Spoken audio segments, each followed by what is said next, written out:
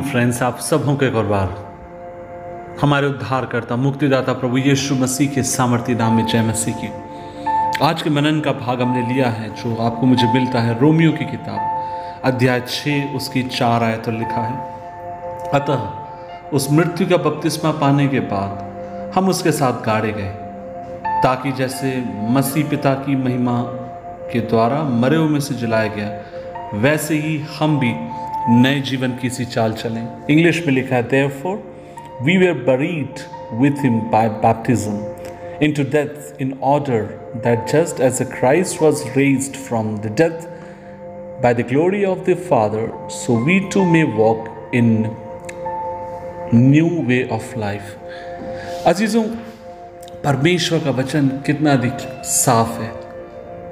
जब कभी आप और मैं दुनिया के असमंजस में खोते हैं, परमेश्वर आपको मुझे एक आह्वान देता है। और वो आह्वान ये देता है कि तुम मुझे अपने दिलों में बुलाओ, तुम मुझे अपने जीवनों में बुलाओ। और जब आप और मुझे अपने जीवनों में बुलाओगे, तब उस समय मैं आपके दिल के भीतर आऊँगा और वहाँ पर हमेशा के लिए रहूँगा और ना केवल आऊँगा, रहूँगा, वरन आपके दिल को पूरी तरीके से मैं बदल दूँगा।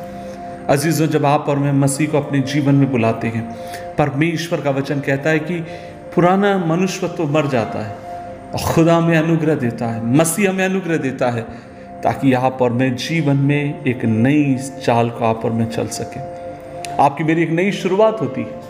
आप और मैं एक नए नज़रिए के साथ इस दुनिया को आप और मैं देखने पाते हैं। इसलिए मैं आपसे कहना चाहता हूँ और मैं इस इस बात पर विश्वास करता हूँ, मैं खुदा से दुआ करता हूँ कि हर दिन प्रभु मुझे अनुग्रह दे, इस बात को प्रयोग में लाने के लिए। और वो ये है, हर दिन एक विशेष अपॉर्चुनिटी को मेरे जीवन में आता, लेकर आता एक खास मौके को लेकर आता और जिस मौके में मैं यीशु मसीह को हर दिन अपने दिल में आने के लिए कहता हूँ और कहता हूँ, खुदा, क्या तू आज फिर मेरे साथ आएगा? हर दिन उसकी उपस्थिति में चलने के लिए। हर दिन उसकी उपस्थिति विद्यमान है मेरे जीवन को दिन प्रतिदिन नया कर कर, नया बनाने के लिए। इसलिए आज मैं आपसे कहना चाहता हूँ, आइए हम आनंदित हो जाएँ। इस बात को याद रखते हुए कि यीशु मसीह हमारे संग है।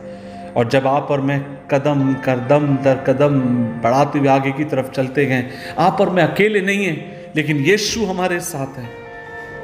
अजीज़ों, जब आप और मैं यीशु मसीह के साथ मुलाकात करते हैं। पुराना मनुष्यत्व मर जाता है और जीवन की एक नई शुरुआत होती है, जिसमें आपको मुझे हर दिन चलने की ज़रूरत है। आज सुबह के समय मैं आपसे कहना चाहता हूँ, कि आप निराश हैं क्या आप दुखी हैं। जीवन से ले, को लेकर क्या आप अधिक, बहुत अधिक टूट चुके हैं। मैं आज आपसे कहना चाहता हूँ, कि आप एक और बार ताजगी भरी नई शुरुआत को कर सकते हैं। क्या आप एक और बार इस बात को कह सकते हैं कि प्रभु जी, मैं थक गया हूँ। मैं अपने आप को कमज़ोर महसूस करता हूँ। मुझे लगता है मैं आगे की तरफ़ चल नहीं पाऊँगा, बढ़ नहीं पाऊँगा। खुदा, मुझे तेरी ज़रूरत है। और जब आप और मैं इस तरीके से दुआ करते हैं, मुझे तेरी आवश्यकता है, क्या तू मेरे जीवन में आकर मुझे आगे की तरफ़ बढ़ाएगा? वो विश्वास योग्य है।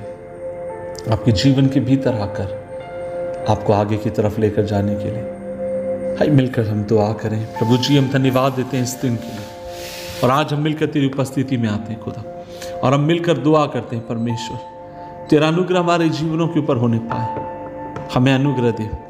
हम नए जीवन की सी चाल चले। हमें अनुग्रह दे। जो बातें बीत गई और हम भूल चुके हैं, उसे भूलते हुए आगे की तरफ़ तेरे नाम से बढ़ते जाएँ। तेरी आत्मा की शक्ति और सामर्थ्य हमें भर। यीशु मसीह के नाम से मांगते हैं। आमीन आमीन आमीन।